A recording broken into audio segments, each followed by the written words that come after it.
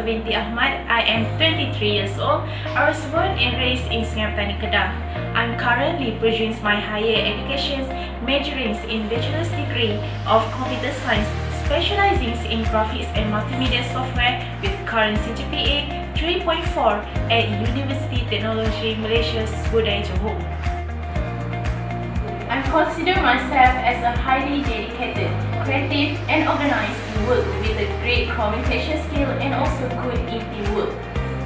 I have joined many programs throughout my university life such as CSS 3 Augmented Reality Application Development in 2017, CSS 3 Autodesk Maya Workshop in 2017, CSS 3 Unity Workshop in 2018.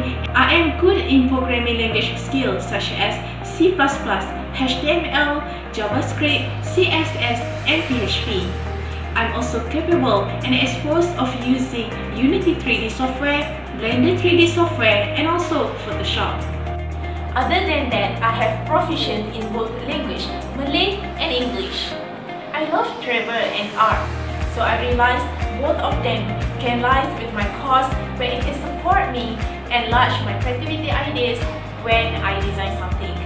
If you are interested with my profile, please contact me via